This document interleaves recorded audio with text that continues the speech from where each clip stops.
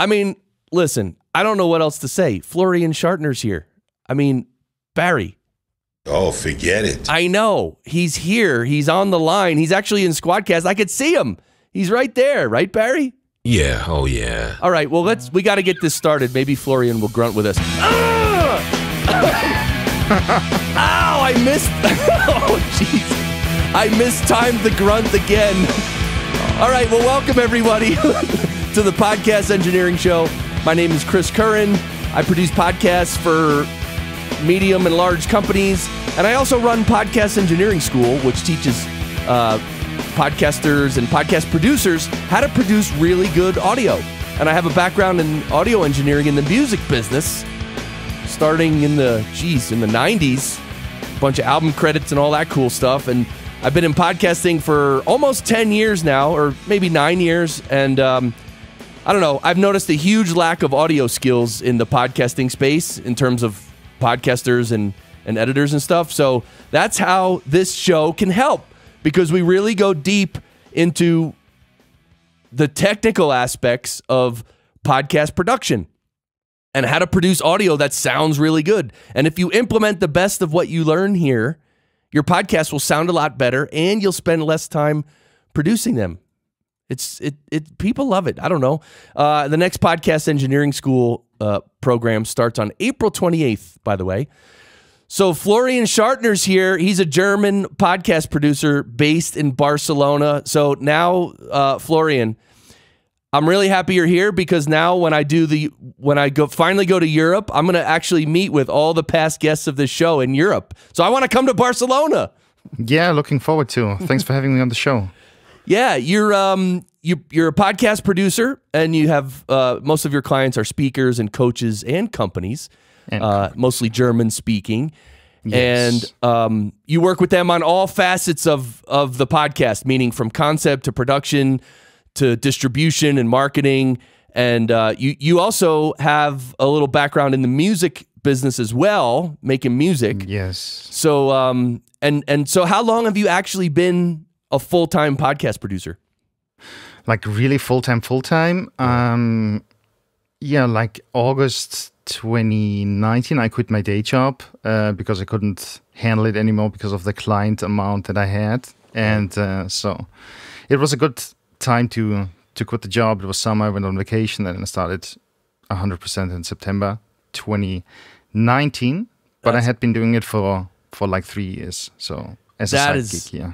That's awesome. That's like that's the, that's the success story right there. You know, you started doing it sort of on the side, uh, and then it became your full time thing. I mean, that's what a lot of podcast editors and producers want to do, right? They don't they don't want to go to their day job anymore.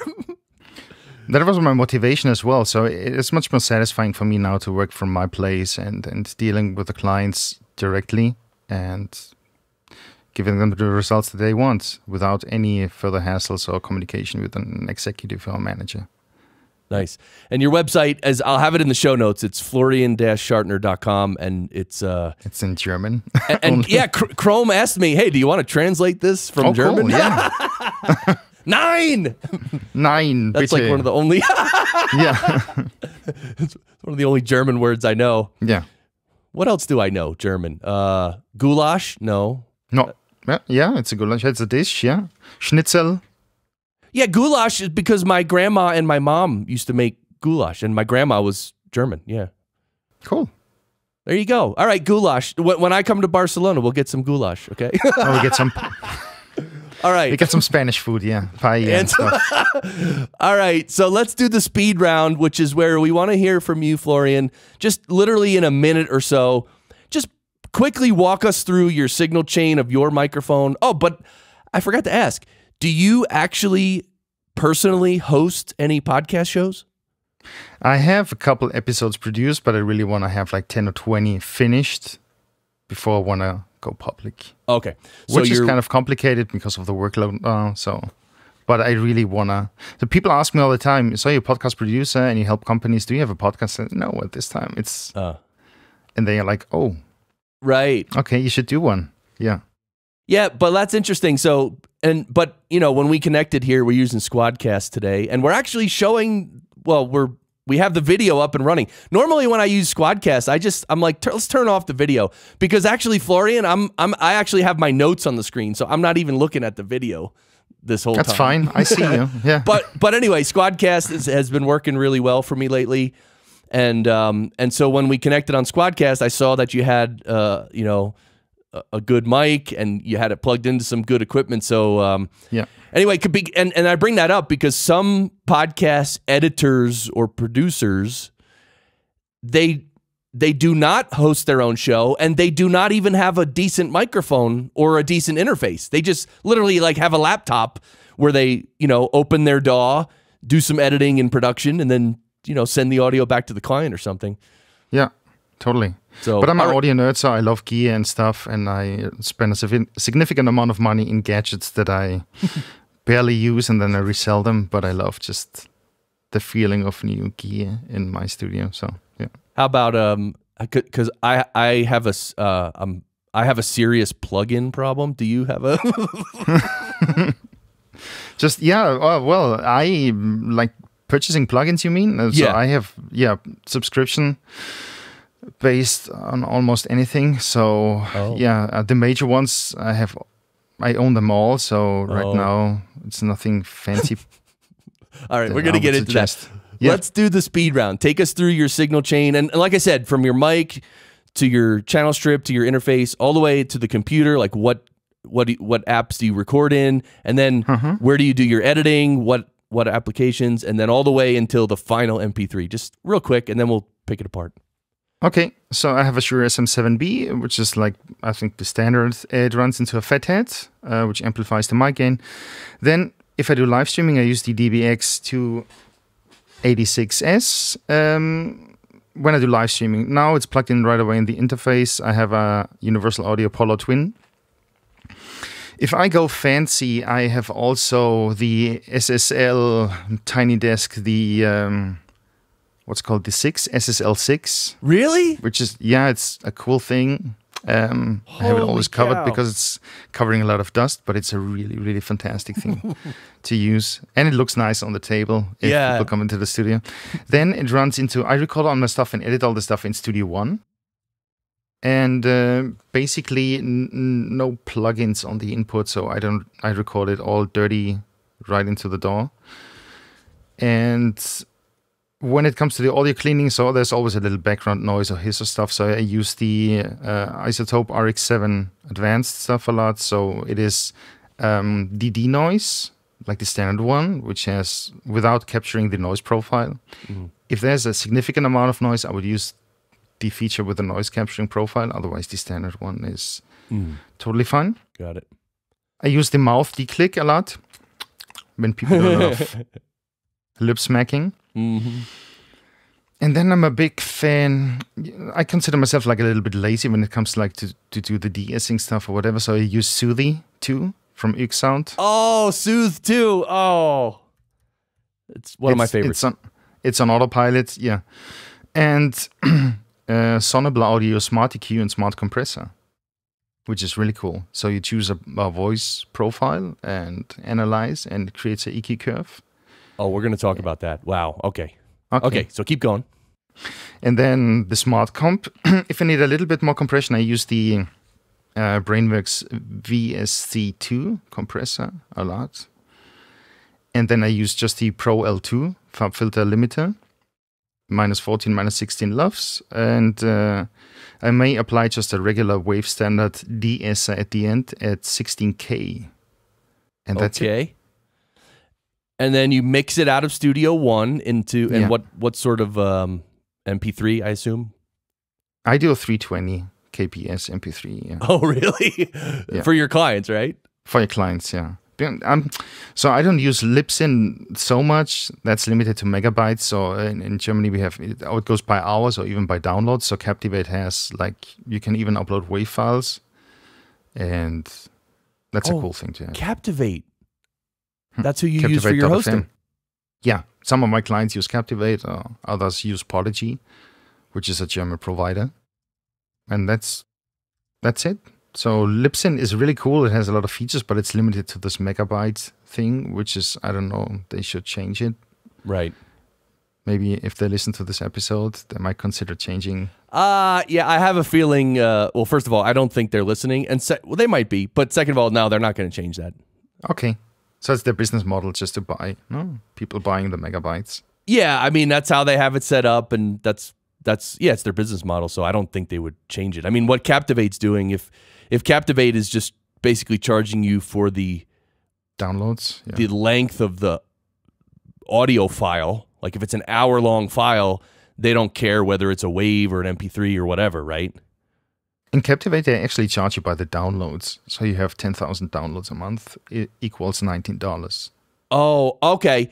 Well, no, but that's but Libsyn. Okay, so that that seems fair, and Libsyn also does something like that, although they don't promote it a lot. Like, I mean, if you're if you have Libsyn, like I I've used Libsyn for many many years, and I you know I don't get that many downloads, right? I don't definitely don't get ten thousand. No? what um per month? month? Yeah. I don't think so. No way. No? Okay. I think so I'm averaging in the US. A Yes. per episode. I might as well divulge my stats live here. All right, everybody, listen. I know you all want to know this. All right, no, I think for for this show, I it's somewhere around a thousand downloads per episode in the first four weeks, which apparently that's it's okay. way above average. Uh, and I'm happy with it. I'm, I'm just happy with everything. I don't anyway. Yeah. But my point is with Libsyn, if I if I did start to get like Joe Rogan numbers and start to get Oh. up, you know, five hundred thousand downloads and all that, then they come in and they will start charging you a lot more. So Definitely. So that's when he changed the host. Yeah. so, yeah. although Dan Carlin with Hardcore History, he uses Libsyn and he gets that guy gets Rob Walsh told me once that he's the only podcaster I don't know if he's well, definitely on Libsyn, maybe in the world. When he puts out an episode, in the first 24 hours, he gets more than a million downloads. Wow. That's huge. And it's like, what? Whoa, man, that's so cool. Yeah. He deserves That's it. That's really cool. All right, so then, um, all right, so that's I guess that's your speed round. Thank you, good job.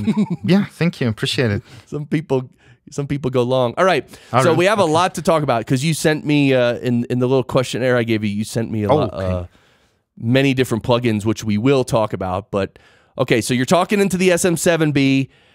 Great mic. Yes. By the way, one thing about the SM7B is I think Bandrew Scott from Podcastage, he likes my voice on the SM7B better than better than my RE20? voice sounds right now on this RE20. Um, but here's the thing: I don't know. I don't think there's anything wrong with my SM7B, but when I record my voice on the SM7B, it just sounds a little bit dull or muddy, and I'm, I'm thinking maybe that's because I get too close to it. it is complicated to handle. So, yeah, it needs a lot of processing though. But I use it because it's a standard thing. Um, uh, people, when they come to the studio to record, they like to see it. It gives them a reference. Um, so I. My good friend from Slate Digital, Steven Slate, you know the plugins? Oh yeah, you're friends with him? Yeah, yeah. Oh cool. And uh, if I have a chance, I use the ML1, like the big diaphragm microphone to record podcasts. But you have to have like a really good speaker who knows how to handle like a big diaphragm microphone. okay. Otherwise, they spit into it or shout into it, and it's Oh. it's complicated. But I also like um, on the go to make it a little bit more time consuming the the equipment. Um, I have actually a Yellowtec IXM. You know them? I've heard of the Yellowtec. So t- t- yeah, tell me about that one. Yeah. So it's it's by far it's it's a super I would say idiot proof microphone. You can shout in, you can do anything kind of noises in very noisy environments. It's gonna record it and it sounds gonna like a radio production if you put it off. So it has um, different uh, exchangeable mic capsules, which is really cool. Right. And different patterns. different Yeah. patterns. Right. So let's just Yeah. be clear. This is a let's so so the audience A can standalone. Yeah. can know it's it's a it's a handheld microphone.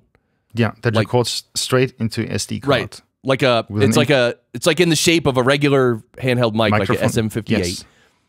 Yes, it's a little bit bigger. It, it also has an included battery. Plus, you can put in some extra batteries, and you record on an SD card. And it has an included dynamic limiter, so you cannot clip the audio.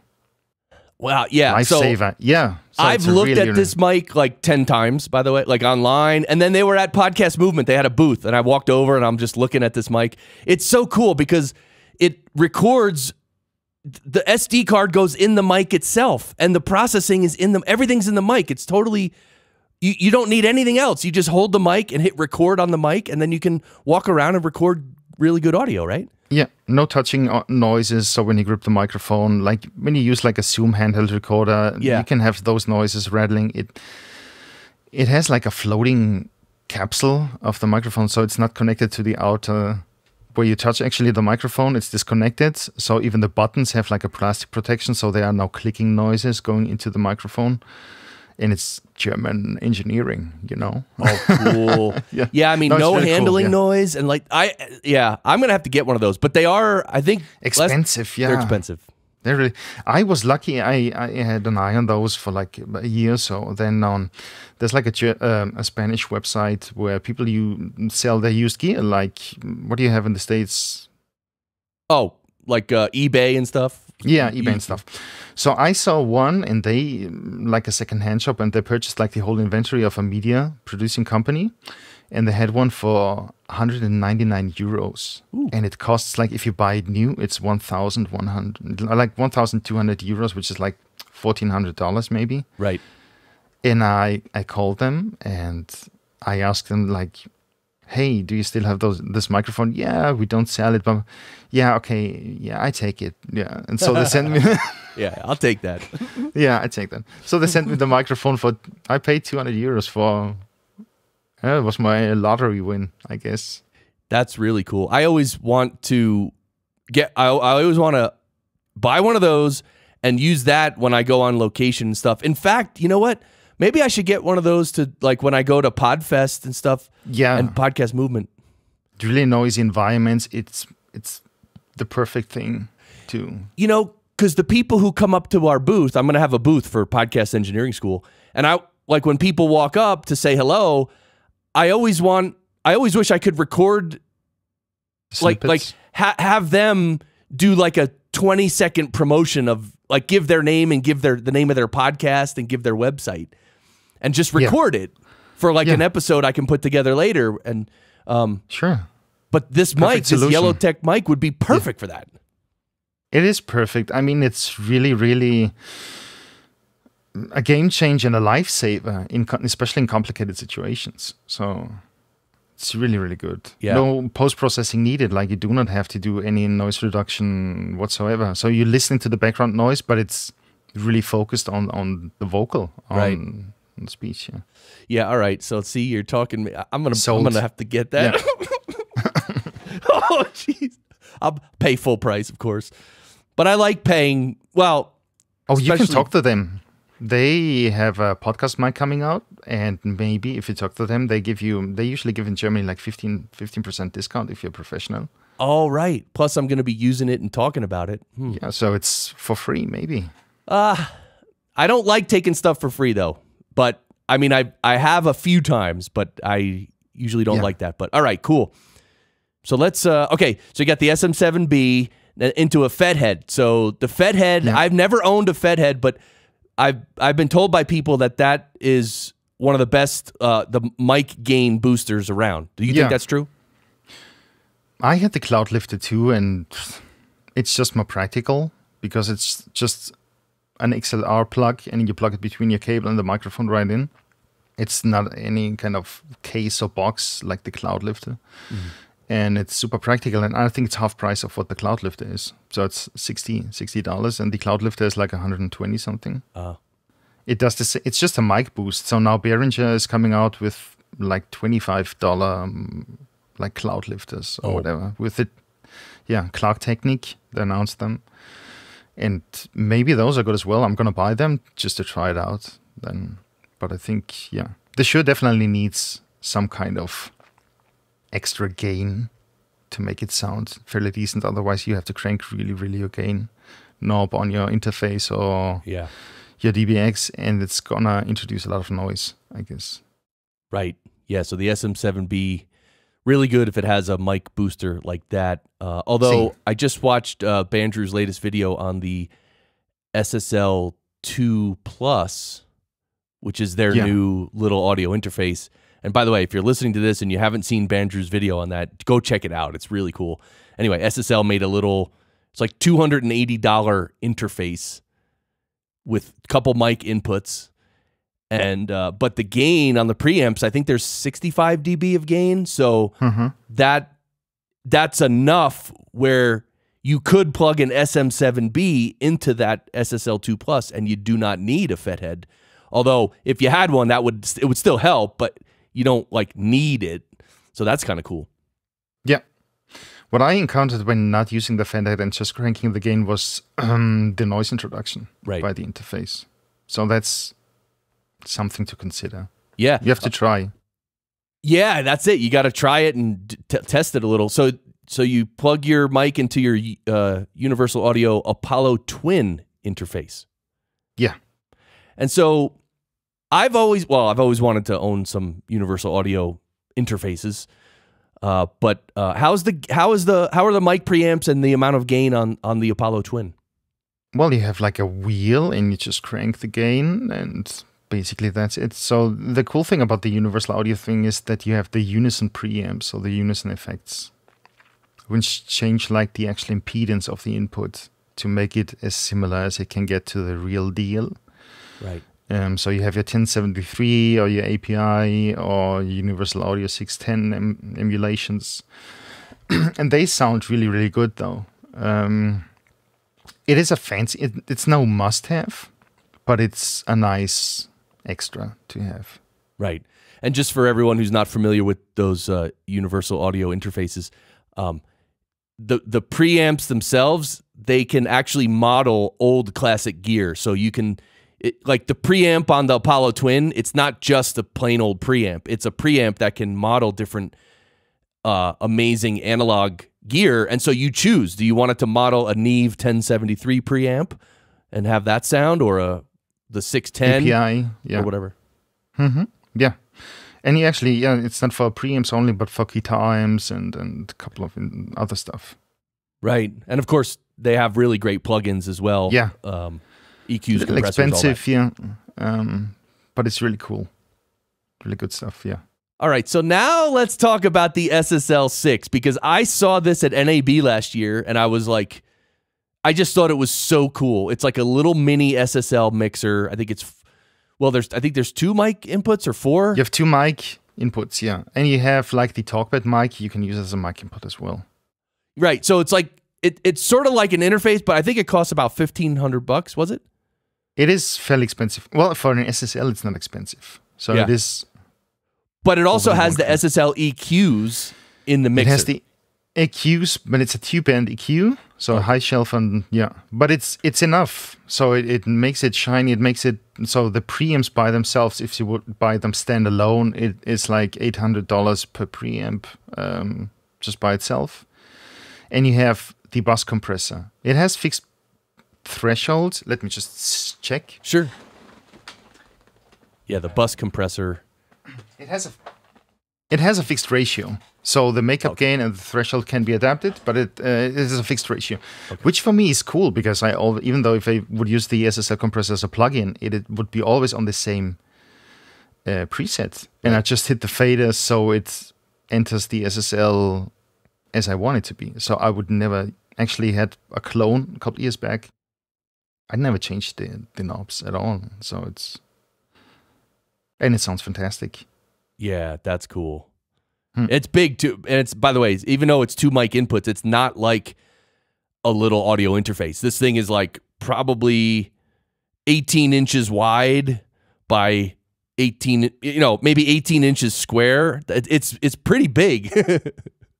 It is decent sized, but it's still, I would say, portable. I wouldn't take it to a to a podcasting gig because I would be scared that people steal the SSL just if they see the logo. right. Oh, but I have it at home. I use it for for pod- podcasting, not so much, but for tracking if I do music jingles or compositions or uh, use it as a master bus processor. If I do audiobooks and stuff, it, it makes them sound really fancy and gives a little this this gluey thing. Um, and and if I tell my customers that I use output gear or analog gear, it just gives an extra more um, value. So Right. they think, oh, that's a really cool. Oh, it sounds so analog to me, and I think, Yeah. that's because of yeah, yeah, yeah, and and so I, what when I saw the SSL six, I thought it would be really good for like either live streaming or like recording an interview and the mu- like recording a show live, like Yeah. like in the old days, uh, Cliff Ravenscraft used to teach where you you you basically you know you have your interview and you play your music. You do everything live and you mix it down to two tracks live and then that's it. That's Yeah. your mix. That's your episode. You're done. You know just change it into an mp3 or convert it to an mp3 and upload it. Um, but that's one thing the ssl 6 would be good for because it has the stereo compressor the bus compressor and so you could sit there with two people in a room having a conversation you could bring in some music to the mixer as well Yes. and then you could use the bus compressor to make it to boost it and make it tighter and louder and then that could go right out to a live stream i thought that would be a Yeah. pretty cool use of it yeah, definitely. That would improve the sound a lot. So right yeah, and even three people. So you have the talkback mic, so you can uh, use that mic is an additional input as well. right but so for the talkback mic you can that's an, an an extra input but of course it does not have any eq or anything associated No. with it Yeah, it's Yeah. just talkback. Yeah. just the just the mic input which Hmm. again if you need it, it again it's there if you need it um yeah. okay It's um, a nice extra to have. I, I think for the price um, and the features that it has, it's it's a very unique approach and it's very high quality and it's definitely worth it to take a look at it. Yeah, or to try it at your local store. Um, right The sound is fantastic. So Mm. okay um uh, any other microphones i didn't ask you if you owned any others so I have uh, obviously I have the Zoom H5 as well if I need to on the go. okay I have the PodMic um, from Rode. Then I have the Slate ML2s, which are the tiny, tiny dynamic microphones that they use for instrumental recording, which in some cases I can use for podcasting as well. what what what were those mics again Slate ML2s, okay ML2. And uh, a bunch of 58s that I use all the time. So the Shure SM7s, I have four of those. So okay people just with the so with the PSA ones, the Rode mic stand, and people just love it how it looks on the tail when you do the setup and locations. uh, And I also use the Rodecaster Pro okay when I go on on mobile recordings. Um, people like it because it has a lot of knobs and lights and faders. And it's really fancy. uh, It is. It makes a it gives a professional impression to the to the client. Yeah. right yeah it's a it for for a consumer mindset it uh, for a person with a consumer mindset it does look like you know a, a, an intricate piece of audio Yeah. gear that looks really cool Yeah. yeah it gives you more value as a um, as a producer or somebody who goes out and if even if you charge like in a budget and you show up with your equipment, oh, okay, it's high value. So it's right so it's all about perception. It's like when you walk with your iPhone uh, and stuff. Um, it gives the people that you do business with they think that you're higher or more professional person when you even though it's not necessary. It's just marketing, I guess. So right but it's yeah Makes sense. So I want to ask you about the Rodecaster Pro and the Rode Pod Mic because those are those have been out in the world a, a little over a year now. So what are your Yeah. what are your opinions about that? About the sound of, of of the Rodecaster Pro and the Pod Mic, or you know how professional it is? What what can you say about it? well the Rodecaster it is a one in all solution um i think really made for the pros it is not it's for a little i think because you do not have any features you cannot change the compressor features or the noise gate or the threshold and stuff um if you record with the processing on if you do the processing it's gonna do a lot of processing so it's it's gonna sound really processed um so that's why i always record clean I don't use the uh, excitements or audio exciters that they have included. but it's very practical. And uh, a thing that I would love to see is to use it with the SD card recording multitrack and have a USB audio interface to do live stream at the same time. So to have both options, but it's not available currently. Oh, so wait, you would want to record multi-track on the unit, like you can do that Yeah. now, and but Yeah. in addition to that, you would want like a stereo mix going out, another stereo output. Yeah. Okay. If you do live streaming and stuff, and then if you would love to process it as a, you can do it on the computer. You can put the computer to run and to record it on the computer, but maybe in some locations, I don't know. It's not possible. Would be a nice feature to have. But wait, And on the regard- Rodecast, sorry, on the Rodecaster Pro, does does it not have a just a stereo output on the back? It has a stereo output, yeah, but I would love to record multi-track on the SD card and to have like the feature of uh, of stereo out. Yeah, you, right now you're making me question if it works or not. So. Yeah, but I want to use the the USB as an USB audio interface to do it. If I would go not to go stereo out into another audio interface and then to do the live streaming. Got it. Doesn't got make it. sense. Yeah, yeah. So you want stereo to go to the computer Yeah. and then go Yes. that and you could send that out somewhere. Yeah. So I guess in order to do that though, you'd if you're bringing it in multi-track, you'd have to open a DAW, bring in all the tracks, and then somehow take the mix from the DAW and send it to a live stream.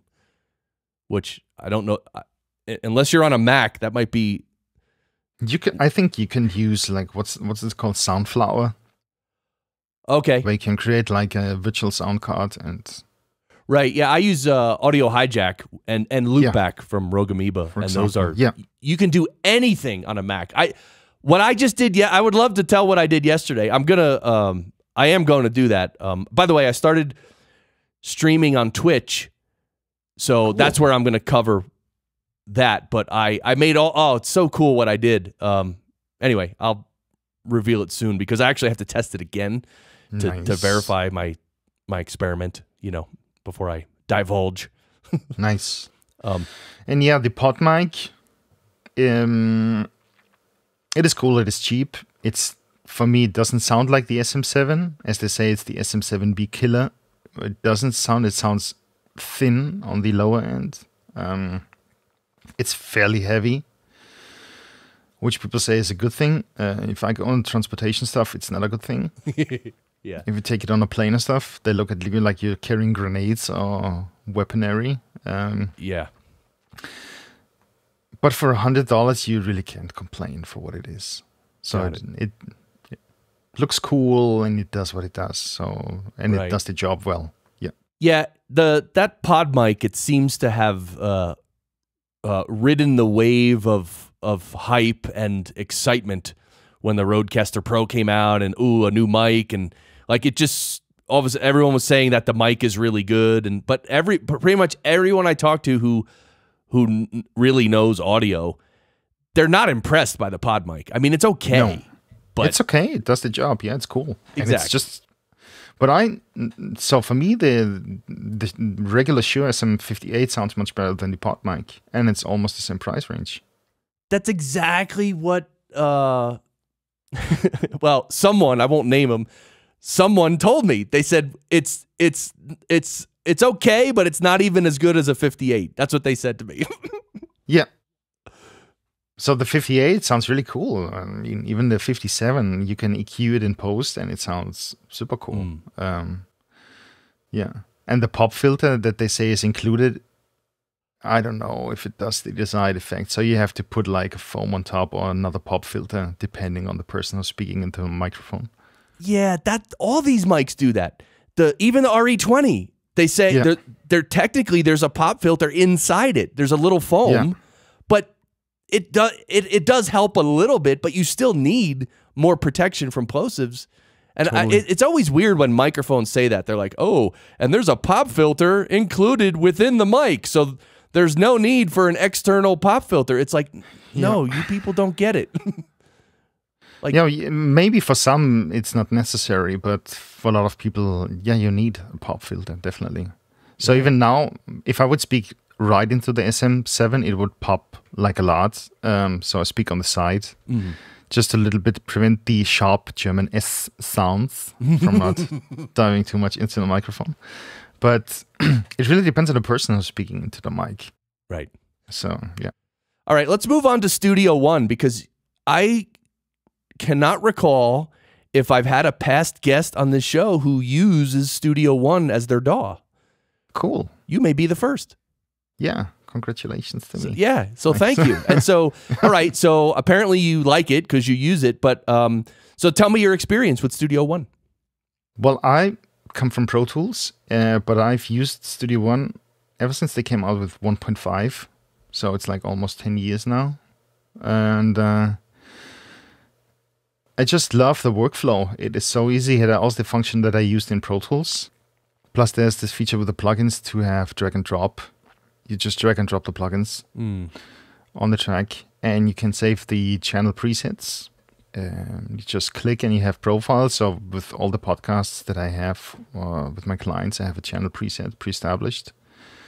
Just click load, smart EQ, smart comp, mm, bounce, and 10 minute the episode is off. So it goes really fast. So it's I'm sure you can do it with any DAW, but I'm just so used to the workflow. And you have ARA, ARA integration, you know, like Melodyne and Revoice. Uh, you can integrate it like natively, so it opens up a window and you have real-time processing. So you do not have to analyze anything and then record it to another track, which what you have to, to do with when you use like Melodyne in Pro Tools. You record the snippet, you open it up, you edit it, and you print it to another audio track. Okay. And just for the folks who don't know what Melodyne is in general, please explain that. Melodyne is uh, a pitch shifting tool that you would use so you can uh, transform your voice and you can edit it like it would be a MIDI track. Okay. So you can, you can create harmonies and, and a lot of more stuff that I don't use. Right. but And mostly for music. Yeah. yes. Although I do for my um, my assistant who uh, who he hasn't showed up in a while. He's from another planet actually, and uh, for his voice, I use I use like a robotic effect. but anyway, so uh, that's like the only time and you would ever use any effect like that in podcasting is if you want to Yeah. do something weird or funny. Well, there's this new Waves plugin, which is really cool. Which one? What's it called? The, the, the Bvox, Rvox, the vocoder thing? Oh, I didn't hear it. Let me check just a second. Okay. It was actually on sale, so I bought it. It's really cool. Has super cool presets. Ovox. Ovox, and that's like different vocal effects. It is super cool. Oh, cool. Creative plugin. Okay. Well, okay. So Studio One, you like? We gotta. I, I really want to talk about some of these uh, plugins you're using because. Sure. Uh, so Studio One. Um, okay, and when you mix out of Studio One, do you mix your episodes directly to MP3, or do you mix it to a WAV file for archiving purposes and then create an MP3 from that? It depends on the client. Um, usually, I don't do archiving. I save all the sessions, I save all the files, and I do a hard drive wipe every 90 days. So I have it on autopilot, and it deletes files that are older than three months without uh, having been opened in, in, in 90 days. Okay. And so you're all those files for the clients that are getting deleted after 90 days. Do you have some sort of backup of all that or no? It's all backed up. So I have 28 terabyte lazy, Oof. A 16 terabyte backup, and I have Dropbox for Business, um, six terabytes. All right, cool. yeah, you got the backups covered. Yeah. Wow. Oh yeah, I think as I work with collaborators for editing, um, we use Dropbox, and I have the shared folder in Dropbox for the client, and I have another shared folder um, for editing, which includes the Studio One session. So Oh, cool. with all the files included. So we open up, and everyone can work remotely, and you just save it, and it saves it to Dropbox. cool. And then yeah, if you ever if you ever do have to make a change to an episode, you just bring up the session again, make the change and re-render it. Yeah. Cool. All right, so you're using RX7 Advanced. I mean, that's a tool that I don't I I literally don't know how I could continue producing podcasts at the level I'm producing them without RX7 Advanced. Yeah, it's a it's a lifesaver. Mm. And you use a denoise, the mouth declick. Mouth declick is so handy. Yeah. Um, okay, but let's we might come back to RX, but let's talk about Soothe 2 real quick. And then what I really want to talk about is the Sonible, the smart EQ and the smart compressor. But let's start with Soothe 2. I've owned Soothe for a couple years and they just upgraded it to Soothe 2 and I just love this plugin. So how, how do you It's an- use it? What do you use it for? I just load it up with the preset and just change the amount. Yeah. Oh, It okay. You just use sounds- the presets. Mm, less invasive than version one, so it uh, it sounds much smoother to me. The first version of Right. the plugin. Uh, the effect is not so noticeable as it would be in the first version, so it's really, really much better for me in the sound. Yeah. And so people understand what Soothe 2 does. What what are you using it for specifically? For de-essing and resonant frequencies, Yeah, de-essing and resonant frequencies. Cool. like the yeah the 4K stuff, harshness and 2K maybe, and if it's muddy in the 200, 400 region, dip it out there. Yeah, you know what? That's one thing I did not do with version 1 is I never really tried to to uh use it on like the low mids. But the first version didn't go all the way down to 20 hertz by the way. It I forget where it stopped, but it wasn't but now Soothe 2 does go all the way down Yeah. So now I'm going to try it in the low mids. What do you, what do you um is it just when like maybe a voice sounds muddy or something that you use it in the low mids or lows? I just take the knob and I drag it all the way down, and I see and I, and I listen how it sounds. Otherwise, I just drag it back up, um, and it goes really fast. So within like 15 seconds, I know if it's needed or not. So That is cool. Yeah, you just bring bring down the lower end uh, cutoff frequency, and then you can you can hear what it's doing. You can also see on the screen. That's one of the coolest Yes. things about Soothe is the Yeah. the UI. You can you can see where it's dipping frequencies, right? I think it's super practical and it's saving you so much time. Yeah, definitely. So cool. All right, now the Sonible plugins, I I've never even tried them. I've seen a few videos on YouTube about the Smart EQ and the Smart Compressor. Um, can you just tell me about them? Like start from the beginning. Well, I don't know anything, so treat me as if I know nothing. Tell me about them. Okay. So Sonible is an Austrian company. And uh, Sonible Smart EQ is basically you have uh, an audio track, instrument voice. You have to say, you have to tell Sonible what kind, the Smart EQ, what kind of audio it is. So if you go speech and you click on analyze and you press play and it analyzes the voice and it creates an EQ curve specifically for that voice. And you can open the bands so it so it covers the the aspect of the the the hertz that you the range that you want to have the effect on and you have a percentage of the actual effect like a, like a mix knob. Got it. and that's that's basically it yeah. And it goes super fast so it listens to it for like 20 seconds. And then you have a profile profile. Just i usually go like 50% or 40% of the sound and it's perfect. So you have like really muddy recordings from clients sometimes um, and that's like really a lifesaver Right. So it scans the audio, comes up with a curve that it thinks is good, and what you're doing is you're only using 40 or 50% of that effect that they're Yes. suggesting. yeah And but also you can change anything you want. Like you can drag Yes. frequencies and yeah. yeah you can use it as a regular eq afterwards yeah Right. So just the the idea of getting a starting point from the artificial definitely intelligence. yeah yeah if you want to use it as as like a reference yeah like a mix aid and it works but it's like for music it's fabulous too yeah it does a really good job Yeah. See, I'm gonna have to.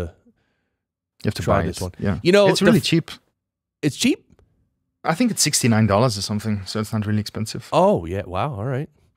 And and so I'm wondering if the FabFilter Pro Q3. I know it doesn't do that exact thing. Hmm. But anyway, but anyway, the reason I brought up the Pro Q3 is that I think there's a lot of there there are many features of Pro Q3 which I don't use. Like there's EQ match, there's like auto. I- Yeah. I, don't even know what there is. I have to look into that more because that's also a good EQ. EQ match is a good thing for Pro Q3 if you have a really bad voice um, and you have a voice profile that sounds really good, like a Joe Rogan podcast. And you take the curve and you match it over the really bad sounding one, and it helps you with the EQ process really quickly. So it's time saver too. Right. Yeah, the thing with the EQ match, the thing I'm always afraid of, and I haven't done much of it at all. Um, I, I know I've done it a couple times. I think in RX, I think in RX you can also do, you can take an EQ profile and then apply that profile to another piece of audio. Yes. One thing I'm always worried about though is like, and and maybe the machine learning and the AI has taken all this into consideration, but like different people's voices on different mics, they're gonna sh- the the frequency response is gonna be very different. So Yes. just because let's let's say high frequencies like 10k and above. Okay, if I record on a darker microphone, yeah, there's going to be less 10k and above. So, but then if I apply another EQ profile that boosts up 10k, it might actually sound worse because it's, Oh, it's yeah. too artificial or something. You have to try, yeah. You have to try. Yeah, so you you you can use it, but then you always got to listen and Sure, yeah, listen always. Yeah. It's Yeah. not like you put it on and you have to. I always double check. So so now I want to ask you about the smart compressor because I've actually never even seen videos on this. So so explain the the Sonible smart compressor to me. It is the same feature as the Smart EQ. You uh, select your track profile. Uh, for instance, it has male voice or female voice. Press the record button. It learns the profile and it creates a compression setting that you can use. And it even has like a fine tuning mode, which makes it a little less um dominant the effect. And you have your mix knob as well. But it's to really get smoothen out everything. Um, don't expect it to be like wow, amazing 1176 kind of slamming uh, effect. It's it's very subtle, so it's really cool. Okay. And it, I'm assuming it's multi-band? It is multi-band, yeah. Okay, cool, yeah. So it has like um, it is it has a regular one, and then the advanced stuff is like a thousand bands or something. I I don't know if it's a thousand bands, but it's like a lot of bands. Yeah. Wow. It would so wait, would it show all those bands on the screen? No, no, you can't actually um, touch those bands, but let me just. Oh, I see. So it'll it'll okay. It has like a smart feature, like like something that makes it more, how would I say, refined. Um, Got it. I I don't touch it, so I use it just a regular compression setting, Got it. and that's fine for me. Uh, and then I put like the VSC two, which is very transparent, and there's a preset also called spoken word or something, and you just, I just move the threshold and adjust the makeup gain Okay. and it sounds really good. Like if you would use the 1176 DLA blue present preset that everyone use it for for rock music, Mhm. same thing. And it makes it very radio sounding, super cool. Oh, cool. So that you were meant you were saying the Brainworks VSC2 compressor. Hmm. Yeah. Yes. Okay, cool. See, I I just said okay, cool, and now my phone perked up. It it thought I said okay. I, I'm not gonna Oh, say you it. have voice commands. no. It on your phone? um Google. Oh, cool. If I say okay, Nice. Google, see, it just came on. But sometimes when I say okay, cool, Okay. Hmm. It recognizes it at Google as cool. yeah, it thinks I said that, and then it, my phone perks up, and it's like, um, I'm recording an episode. All right, so the BrainWorks compressor you like as well, and then the the FabFilter Pro L2, which Yes. this is one that I've been getting into recently. You like the Pro Mm-hmm. L2? I've used it all the time. So I used the, the version one, and it's just uh, like a safeguard. So I actually don't use the features like with the upsampling or whatever. I just put like minus 14 LUFS, and I just pull up the gain, and I don't change any any features. So it's if it's transparent limiting or if it's what it has brick wall or vintage, I don't change anything. I just use the regular preset setting. Right. Sounds quite boring, right? So you No. well, so but so it's a great limiter, and here's but here's the thing. So you said you bring it up to minus fourteen lufs. yes. So how do you use the Pro L2? Do you use the Pro L2 to set the final loudness of your entire episode? Yeah. Okay, so how do you do that in there? just raising the gain on the left side. There's a gain line, and you just go up until it reaches the. So you can actually put like um, uh, visual feedback. You can tell him if you want to have it like minus 14 LUFS, minus nine. And oh, you set the it- target.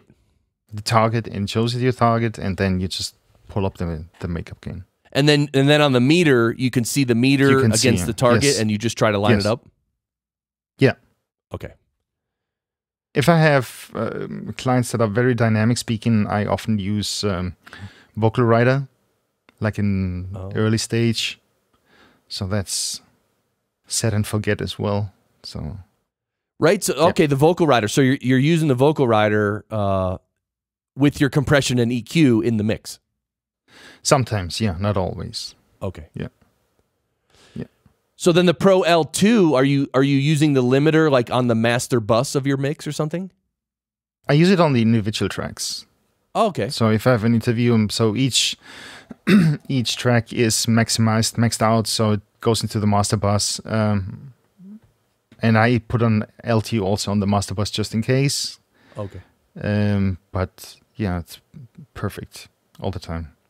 Oh, that's cool. So you use the the Pro L2 on each individual voice Mm-hmm. and set the LUFS level to that level. Yeah. So you're setting are you really setting individual voices to minus 14 LUFS? Is that the exact number? Minus 14 to minus 16, sometimes to minus 18. So there's a range. No, it's not always at the same. So Okay. there's obviously some dynamics in the voice when people speak, but it's within this range. So it I can see. be at minus 21 if a person talks really quiet for two seconds or so. I so it's not always loud. Got it.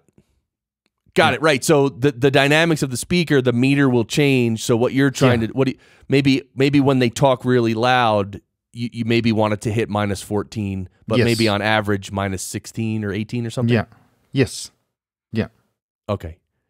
And of course, you're listening to what the limiter does. Because by the way, a limiter, if you crush something with a limiter, it does it does weird things to the sound, man. I, it's Yeah. hard to explain, right? It creates a lot of artifacts, um, especially if you use um, MP3 files. uh, It sounds kind of distorted, very weird. So it's not a good thing. Yeah, Yeah. and even just as far as the dynamics go, like when someone says something loud, you expect it to be loud, but if you're using too much of a limiter, they'll say something loud, Yeah. but it won't be loud, and it'll be it'll just seem it's it's weird. It's like your your Yeah. brain knows, oh, that's something's wrong. That's not natural. Yeah, yeah, that's definitely something that you have to consider, especially for interviews. Yeah, if if there's laughing or if there's mm, I don't know interaction, um, you have to maintain a certain how to say it should be a natural conversation. It should sound Right. like a natural conversation. natural dynamics. yeah. Yeah. Yes. That and that see that to me that's the trick as an engineer to keep the natural dynamics enough, keep enough of the natural dynamics, but also use also use compression and also make the the lower parts more audible. You can do all those things and to me that's what makes it sound good, which means it sounds Yeah. natural, it's nice and loud. You can hear everything they're saying even when they're when even when they, you know, start to talk a little bit lower. yes. Yes. Barry, do you use um, the Pro L2 ever? No way. R- you don't? Really? Come on, Barry. You must use the Pro L2, right? You do. Yeah. Oh yeah. See, I knew you did. Okay. All right. So vocal rider, you you you mentioned that you do uh, a set it and forget it on the vocal rider. So what what kind of how do you uh, adjust the settings in vocal rider? I the, mm, there's a button which is called like fast, fast slide or fast movements. Right. So I put it on the fast one. I open the uh, the L2, the the Pro L2, and uh, I just how would you how would you say um, slide up the the lower tiny fader that it has, Right. so it I get into this minus twenty range, so it stays at this range, and then I keep processing it further. So I have a, like a consistent level, so it goes into the EQ and then it goes into the compression. Oh, so the vocal rider is like first in the chain. Yeah. Okay. So as it is not working as a compressor, it's just a manual, as if somebody would write a fader. So there's no compression effect um, at all. So just to get a consistent level, you can use. A lot of people use like Auphonic if you have the app, Right. but I don't like it too much. But I rather use the the vocal rider. Right. Yeah, I, I feel the same way actually. Hmm. Auphonic is really good, but I don't know why. And this is no knock on Auphonic, but a lot of times I'll, it, I, and I don't really, I haven't done it in a while, but when I would upload a track to sort of even out the dynamics and stuff, it just would, the file would come back. And even though it was still a WAV file, it just, I don't know, it didn't sound as clear or something. if you buy the desktop version, the application, it has a lot more options and the quality is different too. Hmm. So if you're very busy and have uh, extensive workload, or if you record congresses or big events um, and you have like a really fast turnover and the recording quality is really bad, I run it through Auphonic and then I process it further. So I just when I import it into the DAW, I have a consistent level and I can start working with that one. Right. And if you use RX uh, advanced stuff, if you have like a consistent loud noise profile, it's much easier to process it out or Right. just to eliminate the, the background noise. That's what I found from when I used it. So Right. Yeah. All right. Well, so then you're gonna you you use all that uh, processing and then you mix it down to a 320 kilobits per second MP3. And is that Yes. is that do you normally mix to mono or stereo? I keep it as it is stereo. So Cool. yeah. Yeah, because music, there's usually music involved, and yeah. Yeah. Um, can happen then if people use like the Zoom H5 or H4 and it records in stereo. Um, you have to convert those tracks in mono. Or, or I use the what's it called? Um, Brainworks V3 digital EQ, which has like a mono button, but it's depending on the frequency. So you want to say like everything below 500 or 700 hertz is mono. Oh. So I I pull it up to like 2K, and if you pull it up all the way mono, it sounds very muddy. Um, so I keep the upper frequencies in stereo, and I put the 2K into mono. But you have to try it a little bit until it sounds good for you. But yeah, because if they're talking to the microphone, maybe you have a little more on the left side, the voice than in the middle, because they don't use it or they twist the head towards the other person and you have kind of weird effects and Right. then you have to convert it into mono but if you would do it like really in mono it would sound really strange Right. so that's why i do it frequency dependent That is really cool. I've actually never uh, tried that. I, now I want to Cool. try that. nice So basically, like, let's say you brought, you, you can have, you could, for instance, have everything from 1K and below in mono and Or everything from 1K whole- and above in stereo. yeah yeah So cool. yeah All right. I, w- I need to hear, I, I need to figure out a way to record something and then mess with that. Maybe I'll do that on my, on my Twitch stream. yeah Be a good thing to do. Cool All right, so then 320 kbps, and uh, how do you tag the MP3s? What software do you use to tag them? i think i have what everyone has is the id3 tagger Oh, the ID3. id3 editor yeah. which is like ten dollars or something. Um, I haven't seen any other tool that has all the features that this one has. Right. Do, I- do you?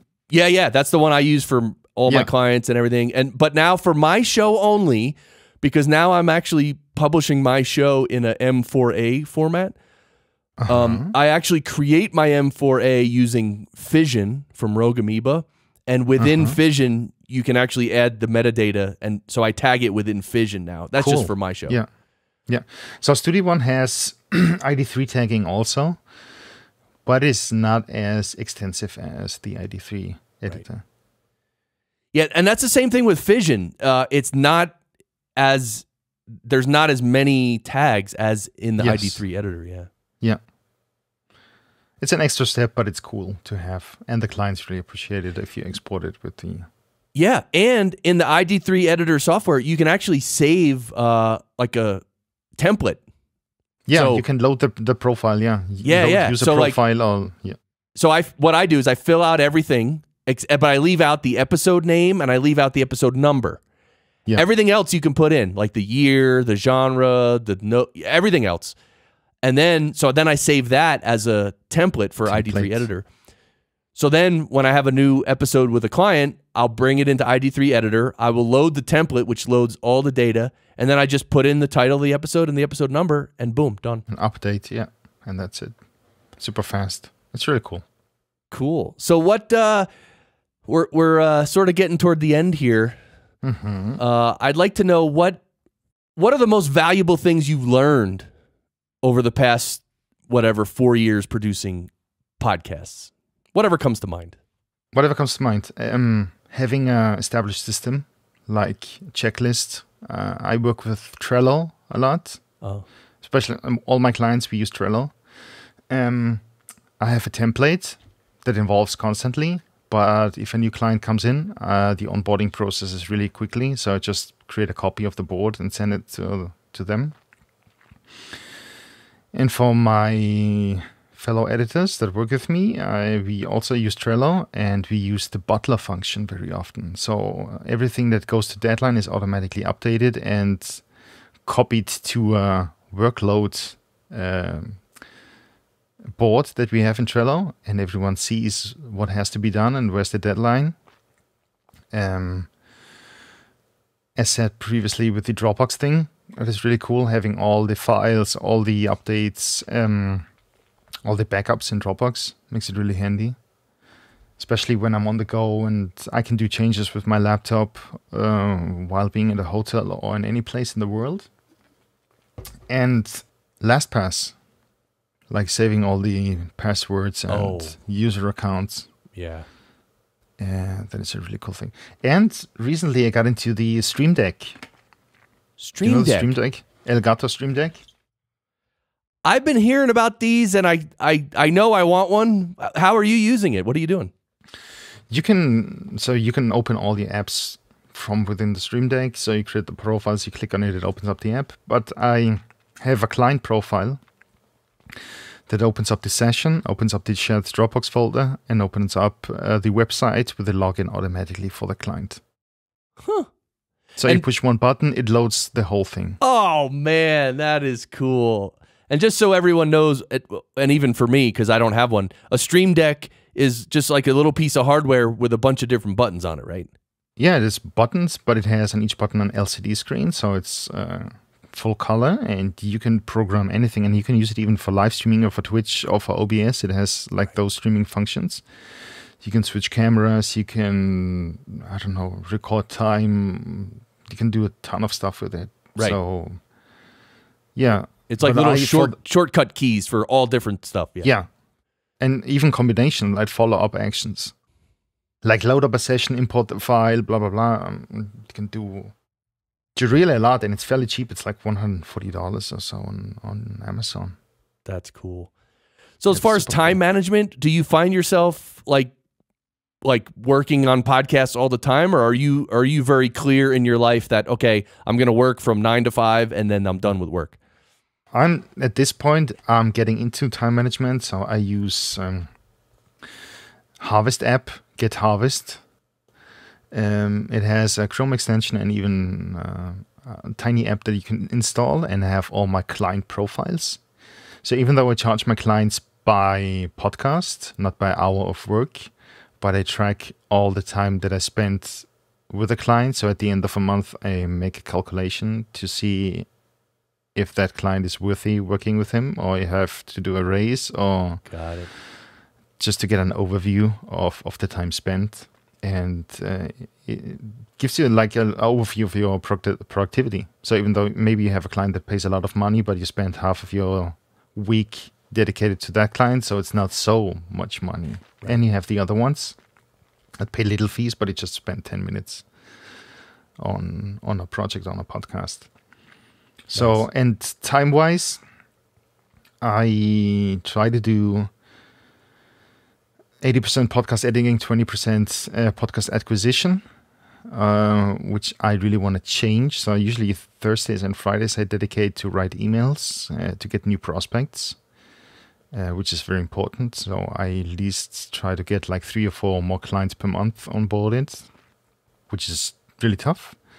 But once you get into the to the process, um, I have all the templates, I have all my prices, so I just have to change the name. I know the questions, and it's it's getting like a more copy paste, and you do the talk, and I do. I also try to do it in two calls.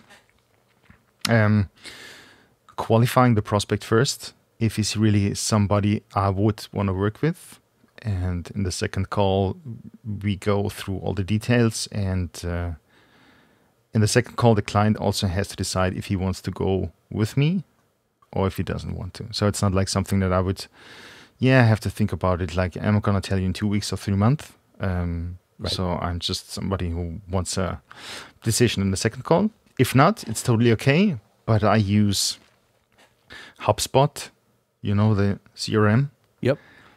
I put all the customer details into the, the HubSpot thing and I put an alarm. So in three months, I will call them back. I do follow up. Got it. I like that you do that two meeting format because uh, I think a lot of podcast editors they want like once they get someone on the phone, w- once they get a potential client on the phone, the potential client inevitably asks the question, "How much does it cost?" And Yeah. in the first meeting, you don't talk about cost at all, right? Uh, I would do the investment question, um, but it would I would ask the, the prospect. I would ask him if I would offer you all this type of services. How much would that be for you, or how much would you be willing to spend for Right. that type of results um, or for that type of services?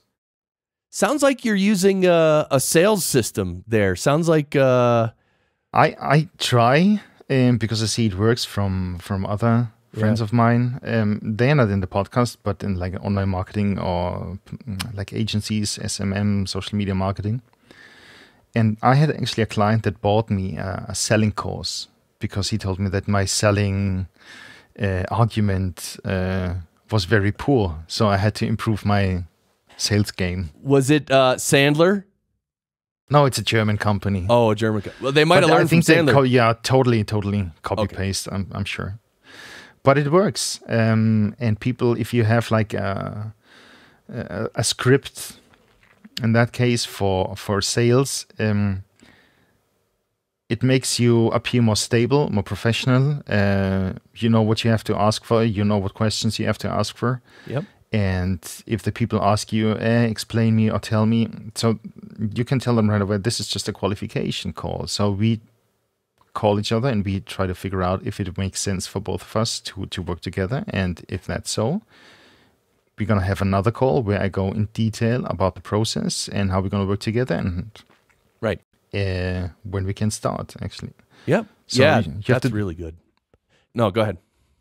Ah, you have to disqualify a lot of people actually. Even though if you're in the need of money, you take them. Uh, otherwise, you, if you say no, gives you much more value.